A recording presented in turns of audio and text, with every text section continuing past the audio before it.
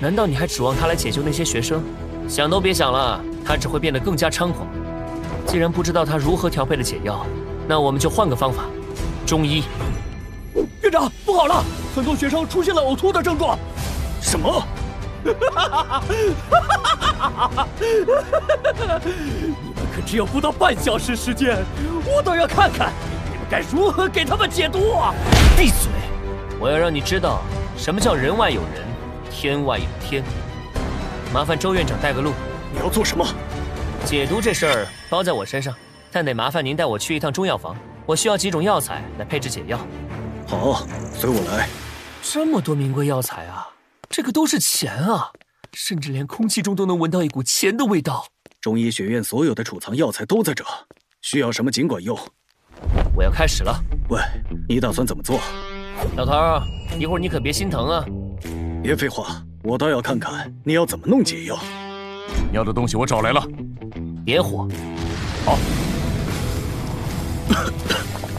方虎，你干什么？简直就是暴殄天物啊！我活这么久，这么炼药还是头一次见。火不要太旺啊！把那张桌子拆了。啊？什么？够了。接下来就是取我体内精血入药。这是干什么？你小子是在制毒吧？那老头说我今天有血光之灾，指的就是用精血救人吧？唉。真是什么都逃不过那老头的眼睛。我从医这么多年，从没见过这样炼药的。药里面为什么要加你的血？这就说来话长了。总之，我的血可是很宝贵的。这是变好了，你们看，怎么这么臭啊？你确定煮的不是屎吗？有句话说得好啊，良药苦口。当然，我炼的药有点特殊而已。剩下的事就交给你们了。这个药真的是解药吗？我还是先试试看吧。哎呀真的太臭了！啊，这种舒爽的感觉是怎么回事？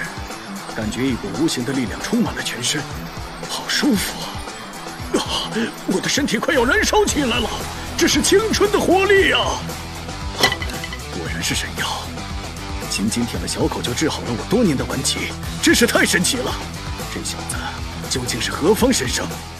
麻烦请让一下。你们干什么吃的？给我动作麻利点儿！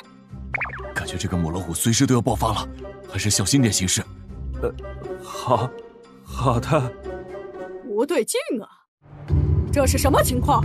送来的学生越来越多了。解药，解药来了！